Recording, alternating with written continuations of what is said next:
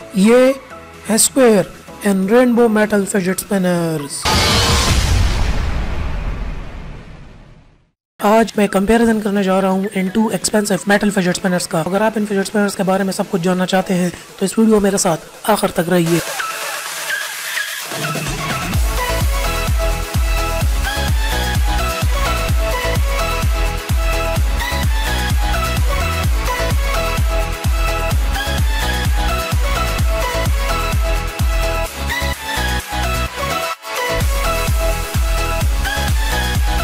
और ये रहे हमारे पास दोनों के दोनों मेटल फिजेट स्पिनर्स एक जो है इसमें रेनबो मेटल फिजेट स्पिनर है, और दूसरा हमारे पास स्क्वायर मेटल फिजेट स्पिनर है।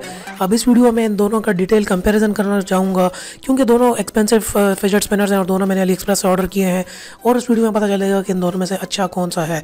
अब दोनों जो है एक्सपेंसिव हैं, दोनों अली एक्सप्रेस के प्रोडक्ट हैं और अब देखेंगे कि पता चलेगा कि कौन सा इनमें से ज़्यादा अच्छा है।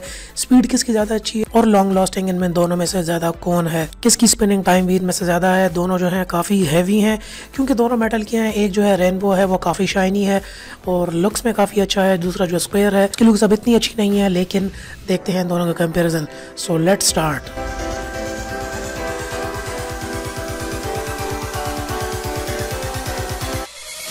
और हमारे पास जो है मेटल फिजेट स्पिनर जो है वो जीत चुका है। हमारे पास जो रेनबो मेटल फिजेट स्पिनर है वो जीत चुका है।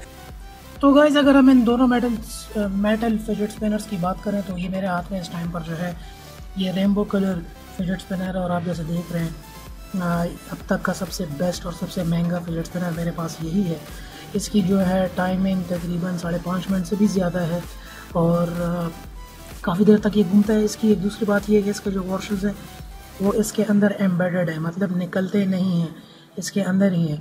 और यहाँ से आप इसका ये स्क्रू खोल सकते हैं, मगर जैसा कि आप देख रहे हैं, ये काफ़ी देखने में भी खूबसूरत है और इसकी स्पीड इसकी आवाज़ सबसे ज़्यादा तेज़ है।